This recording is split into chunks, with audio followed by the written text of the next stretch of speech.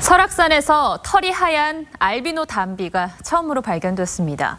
아, 보통 알비노 동물들은 따돌림을 당한다는데 설악산 담비는 이례적으로 이 무리 생활을 하고 있었습니다. 강석 기자입니다. 한계령 오솔길에 동물 두 마리가 잇따라 달려갑니다. 멸종 위기 2급인 담비입니다. 뒤쪽 숲에서 또 한 마리가 나타납니다. 그런데 머리와 꼬리가 검은색인 앞선 담비와는 달리 흰색입니다. 지난달 28일 멜라닌 색소 결핍인 알비노 담비의 모습이 생태 모니터링 CCTV에 포착됐습니다. 알비노 증상이 나타날 확률은 10만 분의 1입니다. 알비노 담비가 무리 생활을 하는 것은 이례적입니다. 정상인 개체와 알비노 현상 있는 개체들이 한 서식지내에서 같이 무리 생활을 하는 것으로 보아 특이한 현상 중의 하나인 것.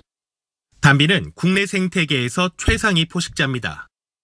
하지만 최상위 포식자라도 몸이 흰색이면 야생에서 살아남는 것은 매우 어려운 것으로 알려져 있어 이번에 발견된 담비는 더욱 희귀합니다.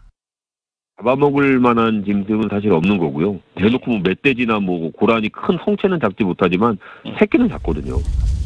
알비노 담비는 지난 2005년 오대산에서 한 차례 포착됐으며 설악산에서 발견된 것은 이번이 처음입니다. TV조선 강석입니다.